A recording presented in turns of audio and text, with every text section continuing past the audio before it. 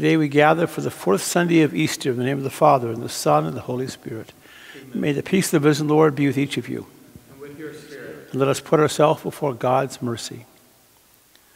Lord Jesus, you come as light in the midst of darkness. Lord, have mercy. Lord have mercy. Lord Jesus, you come as peace in the midst of conflict. Christ, have mercy. Christ have mercy. Lord Jesus, you come as wisdom in the midst of confusion. Lord, have mercy. Lord have mercy. May Almighty God have mercy on us, forgive us our sins, and bring us to everlasting life. Amen.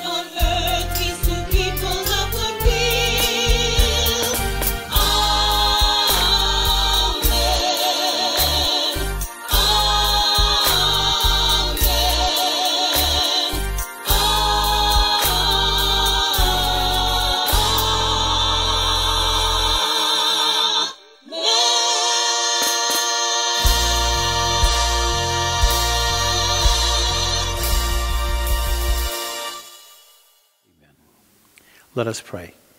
Grant, we pray, O Lord, that we may always find delight in these paschal mysteries and continue to be renewed through the grace of Jesus. We ask this through Christ our Lord. Amen. A reading from the Acts of the Apostles. When the day of Pentecost had come, Peter, standing with the eleven, raised his voice and addressed the crowd. Let the entire house of Israel know with certainty that God has made him both Lord and Christ, this Jesus whom you crucified.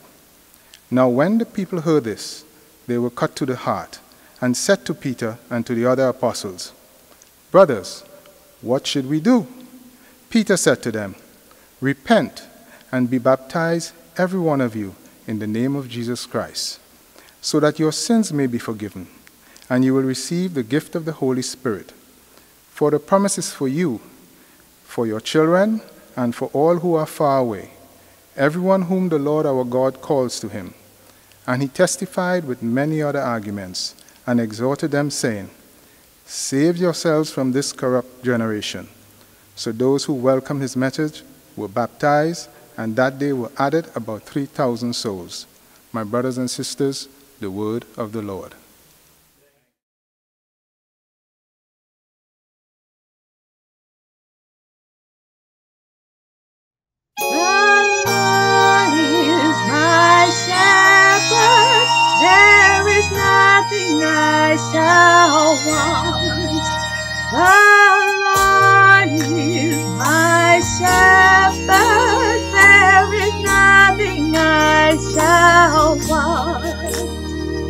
The Lord is my shepherd, there is nothing I shall want. Fresh and green are the pastures where he gives me repose. Near restful waters, he leads me to revive my drooping spirit. The Lord is my shepherd, there is nothing I shall want. He guides me along the right path, He is true to His name. If I should walk the valley of darkness, no evil would I fear. You are there with your crook and your staff. With these you give me comfort. The Lord is my shepherd. There is nothing I shall want. Prepare table for me in the sight of my foes. My head you have anointed, anointed with oil. My cup, my cup, my cup is overflowing. The Lord is my shepherd, there is nothing I shall want. Surely goodness and kindness shall follow me all the days, all the days, all the days of my life. In the Lord's own house shall I dwell forever and ever. The Lord is my shepherd, there is nothing I shall want. The Lord is my shepherd, there is nothing I shall want.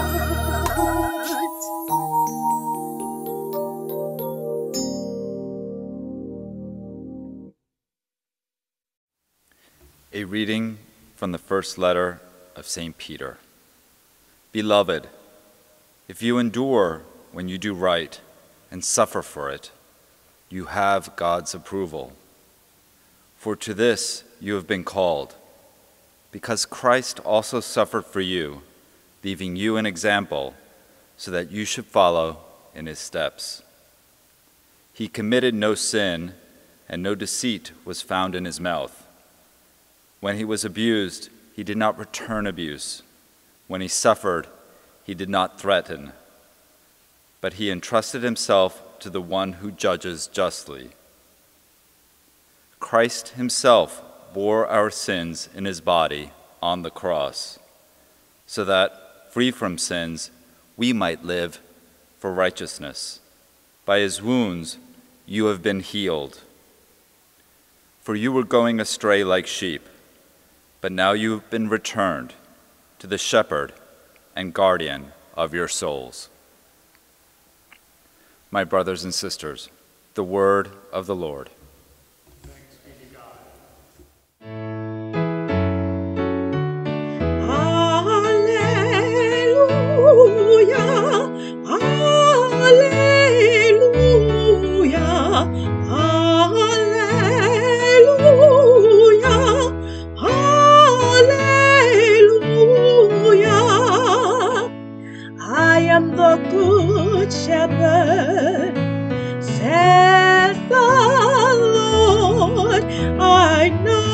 Sheep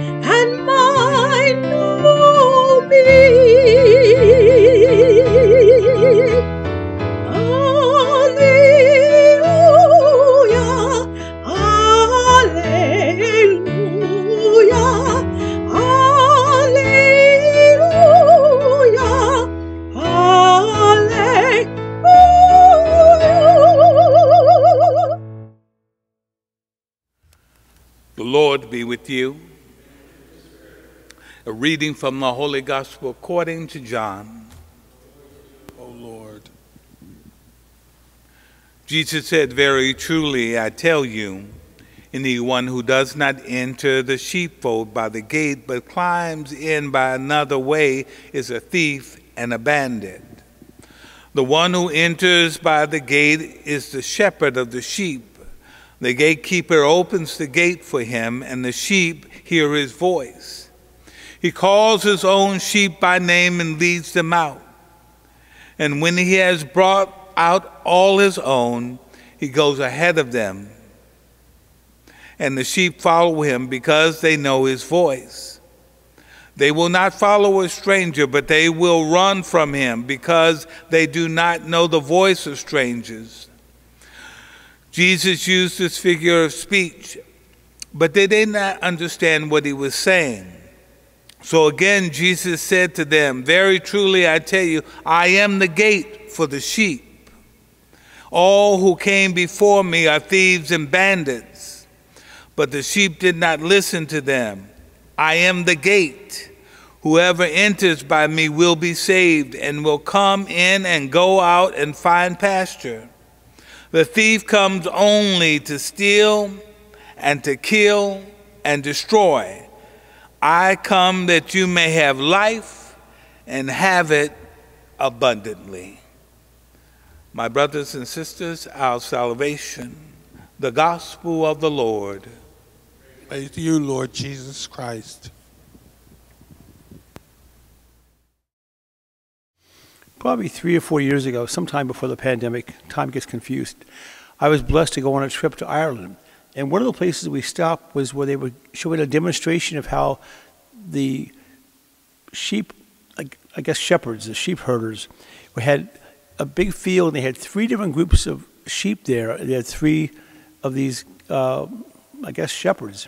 And each one had their own special whistles and clicks and sounds and whatever. Well, they were, first of all, they were doing in, in Irish, so who knows what they were saying. You can only understand half the people in Ireland. And those are the sober ones. So all of a sudden, there was, I was fascinated that different sheep would hear the voice of their, their owner, their shepherd, and start coming down. Of course, they had sheep dogs to help to move the sheep faster because sheep are really slow and dumb. But the sheep knew that when the shepherd made this noise, all of a sudden these sheep kind of came to attention and started wandering down, and his sheepdogs kind of sped the process up. But they knew his voice. And that's why when Jesus uses his example of the gospel, people, even 2,000 years ago, knew that the sheep knew their own shepherd. Why? Because the shepherds want to make sure they get to good pasture and protects them and helps them and takes care of them. Well, the analogy is how easily is it for us to hear the voice of Jesus? Jesus is always talking to us through Scripture, through other people, through the quiet of our hearts, but often there's so much noise around, and so many folks are so busy on their screen all the time. It's amazing God gets through it all at any point in life. But the voice of Jesus is there. So just think for a second how are, what are the opportunities that you have to hear the voice of Jesus? It might be, as someone said to me recently, they were here for Easter Sunday. They said, all of a sudden Easter sounded different this year, even though I've been coming to church for a long, long time. It spoke to where I was at right now in some of my own struggles and how I needed not to get stuck on my Good Fridays. So it's amazing how, as we hear the scriptures over and over again, they often sound different because we're in a different place. Then we're able to more clearly hear Jesus because of our own issues, needs, struggles. So I think for many of us, we hear Jesus also through other stories. I know on the Impact Retreat this year, many people said to me, Wow, when someone shared their struggle and how that they found God in the middle of that struggle, it helped me realize that God has been with me sometimes when I forgot about it. So it's amazing that often through other people's stories, we're able to connect the dots and say, Oh, that was the voice of Jesus. And I know sometimes for myself, some days when I'm just quiet enough to listen, and I'll hear that voice of Jesus in the back of my head, this little quiet voice saying, Michael, I got you here. Why are you worrying? You spend more energy worrying than you need to. Just get the work done. So I just invite us as we continue through our journey of Easter to ask ourselves, where do we need to get more tuned in to hear the voice of Jesus. Just like in the old radios, you had a dial to turn. If you didn't dial properly, you wouldn't hear the voice of anything. Well, if we tune in ourselves more clearly, we often can hear the voice of Jesus. See, Jesus is like that radio station. He's always broadcasting. We have to be receiving. And if we hear his voice, then we can choose to respond.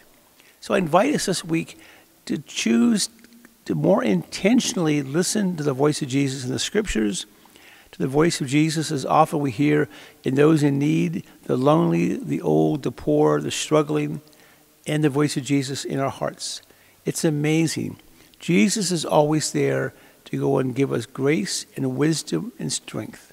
The question is, are we listening? Amen. Let us pray together our belief in God. I believe in one God, the Father Almighty, maker of heaven and earth, of all things visible and invisible.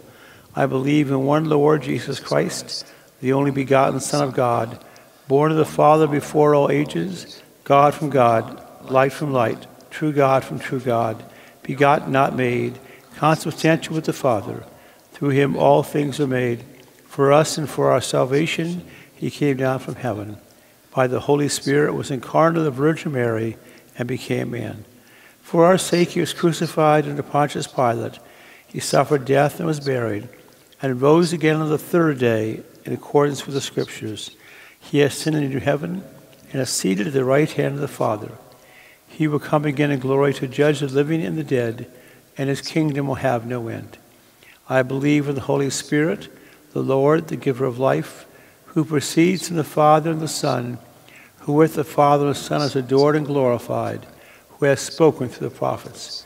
I believe in one holy Catholic and Apostolic Church. I confess one baptism for the forgiveness of sins. I look forward to the resurrection of the dead and life for the world to come. Amen. Let us lift up to the Lord our needs, the needs of our church. For all of our newly baptized and confirmed, that they may grow in the faith of our church, let us pray to the Lord.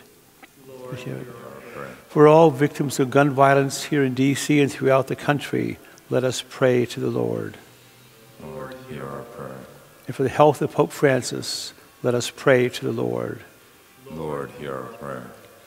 Lord God, we lift up to you these and all those needs that weigh in our hearts. We make them known in confidence through your Son Jesus, who is the resurrection and the life now and forever. Amen. So we prepare the altar. I again thank all of you for your generosity and your support.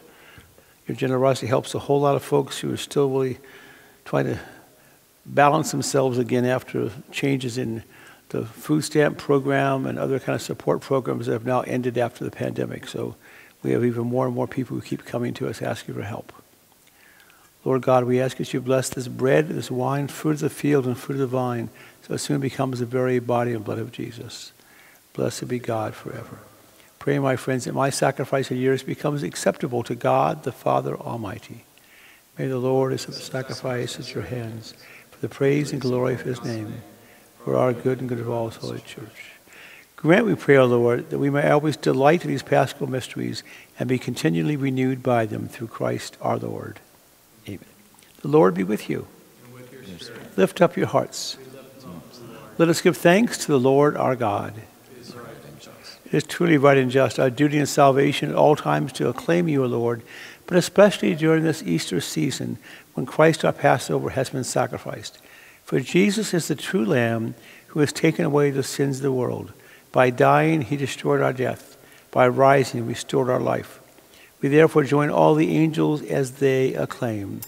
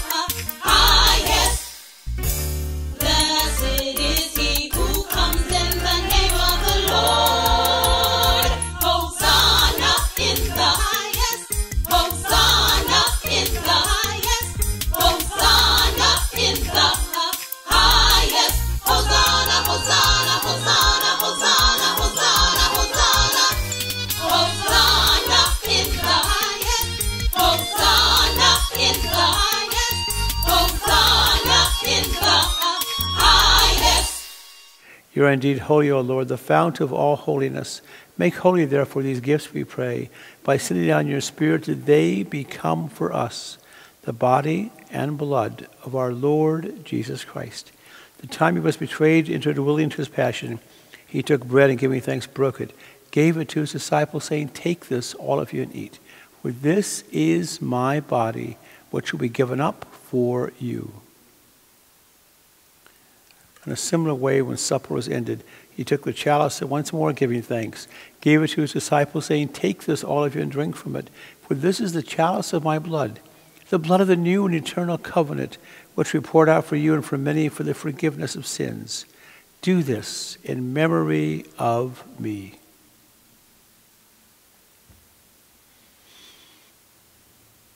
Let us proclaim the mystery of faith. Christ has died, Christ is risen, Christ will come again. Therefore, as we celebrate the memorial of his death and resurrection, we offer you, Lord, the bread of life, the chalice of salvation, giving thanks, thanks that you have helped, held us worthy to be in your presence and minister to you.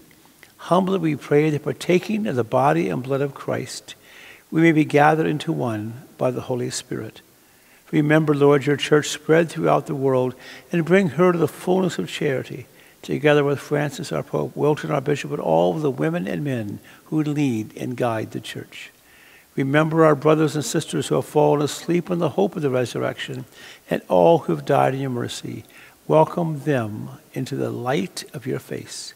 Have mercy on us all, we pray, that with the Blessed Virgin Mary, Mother of God, Blessed Joseph, her spouse, the blessed apostles, Martin, and all the saints who have pleased you throughout the ages, we may merit to be co heirs to eternal life, and may praise and glorify you through your Son, Jesus Christ. Through him, with him, in him. O God, Almighty Father, the unity of the Holy Spirit, all glory and honor is yours forever and ever. Amen. Let us pray in the words that Jesus gave us. Our Father, who art in heaven, hallowed be thy name. Thy kingdom come, thy will be done, on earth as it is in heaven. Give us this day our daily bread, and forgive us our trespasses, as we forgive those who trespass against us. And lead us not into temptation, but deliver us from evil. For thine is the kingdom, the power, and the glory, forever and ever. Amen. Lord Jesus Christ, you said to your apostles, I leave you peace. My peace I give you. Look not on our sins, but on the faith of your church, and grant us the peace and unity of your kingdom, where you live forever and ever. And may the peace of the risen Lord be with each of you. I invite those who are blessed to have others with you to share a sign of God's peace. Lamb of God, you take away the sins of the world, have mercy on us. Lamb of God, you take away the sins of the world, have mercy on us. Lamb of God, you take away the sins of the world, grant us peace. Behold the Lamb of God, behold him, it takes away the sins of the world. Blessed are those called to the supper of the Lamb. Lord, I am not worthy you should enter under my roof, but only say the word, and my soul shall be healed. I invite you to ask the risen Lord to come into your hearts, to open up your ears and your heart to hear God's word around you and within you. This is the body of Christ.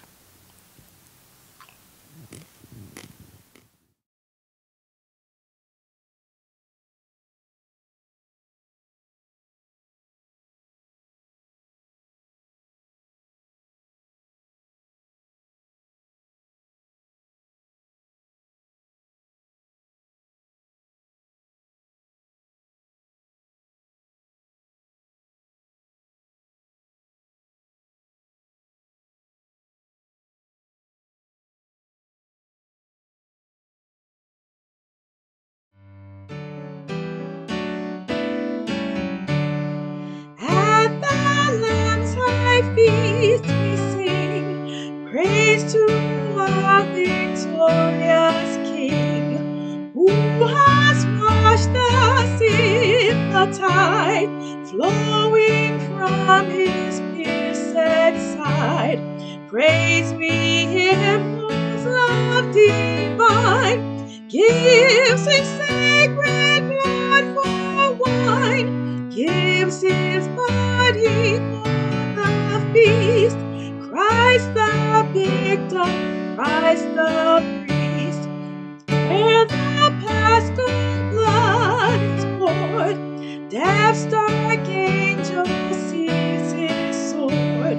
Israel's host triumphant roll through the wave that drowns the foe.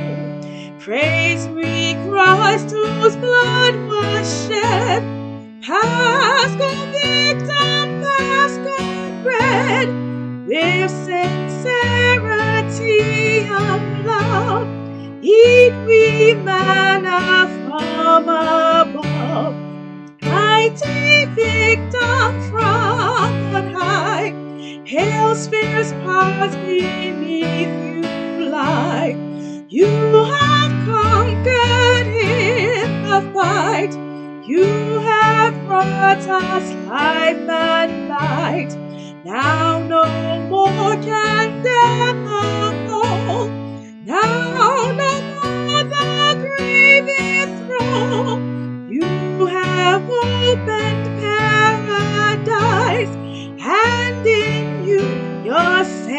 shall rise. Easter triumph, feast the joy. This alone can sin destroy.